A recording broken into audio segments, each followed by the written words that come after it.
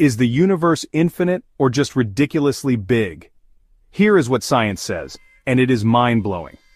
We can observe about 93 billion light-years of space, but that is only the observable universe, limited by the speed of light and the universe's age. So what is beyond it? Well, two leading theories try to explain it.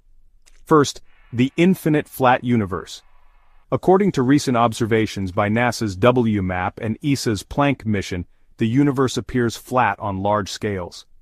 A flat universe could mean it stretches out infinitely, with no edge, no center, and more galaxies beyond what we can ever see.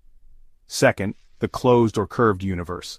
Some models suggest the universe might be like a four-dimensional sphere, curved in a higher dimension.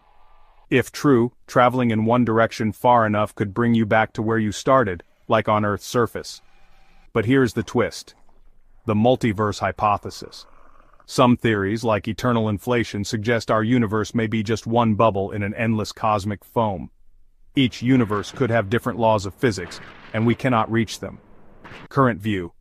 Most cosmologists lean toward a flat and possibly infinite universe. But we cannot prove it is infinite, because light from beyond the observable edge has not had time to reach us. It is like trying to see past the horizon in a fog.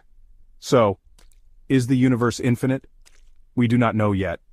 But what we can say is, it is unimaginably vast, and may be far stranger than we can ever comprehend.